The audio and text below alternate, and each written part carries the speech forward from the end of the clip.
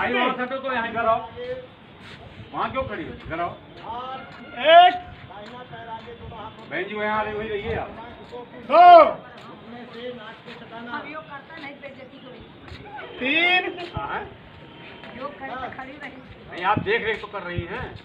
चार। एक पैर पीछे। पाँच। दोनों पैर पीछे। छः ज़मीन पर।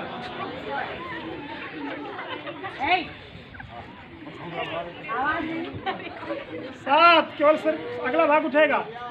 पैर का भाग ज़मीन पर रहेगा अगला भाग यानी भुजंगासन की स्थिति। आठ पर्वतासन। नौ एक पैर आगे।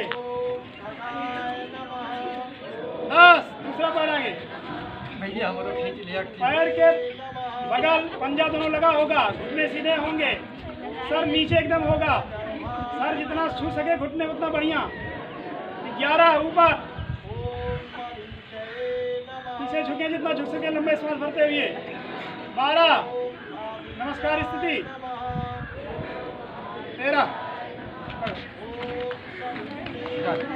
चलिए।